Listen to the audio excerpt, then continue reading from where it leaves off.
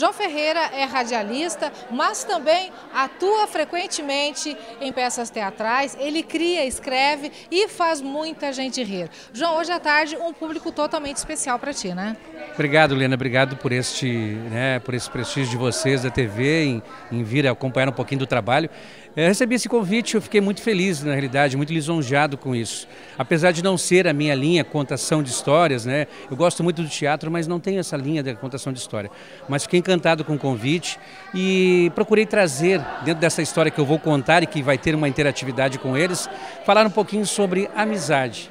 Já baseado nessa convivência deles, dessas crianças especiais, desses jovens que já estão, acho que de longa data aqui, né? Muitos talvez até estão na casa dos 30 e poucos anos e começaram cedo, começaram pequenos.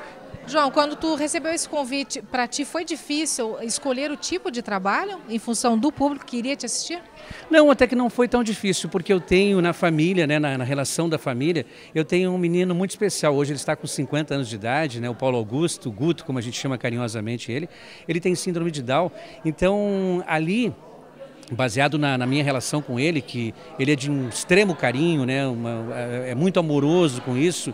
Baseado nisso aí tudo, eu, eu, refleti bastante e vi que, assim como eu me dou bem com ele, assim como eu faço, brinco, interajo com ele em casa, eu poderia fazer isso, estender essa interatividade, essas brincadeiras para outras crianças também tão especiais. Né? Então não foi, não foi muito difícil de, de... Agi, agindo normalmente. Exatamente. E foi exatamente assim que ele agiu, naturalmente não sem a parceria da filha Luísa e auxílio de uma peruca loira e um grande top azul no pescoço. E foi suficiente para comunicar, se integrar e captar a atenção e interatividade da assistência. Os alunos atuaram. A fantasia da história, criada por ele, falava de um rei triste, mas que ganhou uma sorridente atuação em tempo integral da Luísa. O conto se passava em um reino sem guerra, onde no lugar de capacete, os soldados usavam máscaras coloridas e jogavam ping-pong. Para quem não estava no palco atuando, tudo era motivo de riso. A história e as atuações pediam. Basta ver a atuação do João e da filha Luísa em mais uma tentativa de fazer o rei feliz. Boys dançava rock?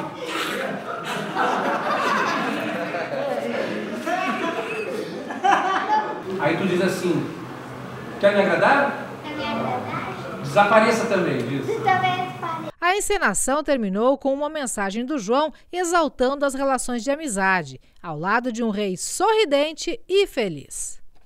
É minha vida também. E esses meus colegas, todo mundo também gostam de histórias. Foi legal? Legal, bem divertido. O que, que achou da atividade, Marcelinha? Bom. O que mais? O que, que tu mais gostou?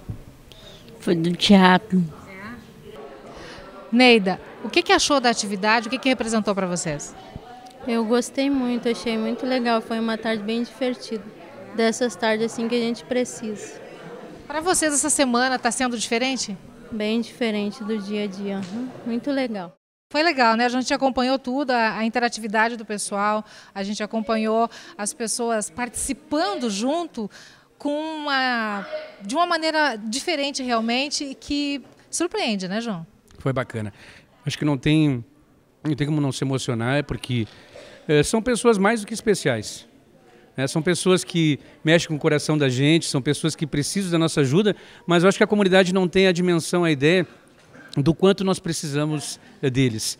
A minha filha agora há pouco disse assim, pai, quando tiver um outro teatro, alguma coisa, vamos chamar a Luísa. Eu digo assim, é verdade, ela fez tão bem o papel, ela interagiu, ela, ela, ela participou tão bem daquilo que eu, ela tem razão de, sabe, de, de, de dizer isso. Vamos convidá-la mais vezes. Quem sabe não está aí brilhantando, quem sabe possa vir a fazer ter uma carreira né, de, de, de, atriz também, por que não? Né? Não há limites, não há limites para eles na realidade. Um rei triste que sorri sempre. Que sorri sempre. Essa foi esse foi um mote né, bem diferente, né? Mas, mas valeu, valeu com certeza. Ah, ela fugiu de mim no iníciozinho. Luísa, Eu me surpreendi contigo, menina.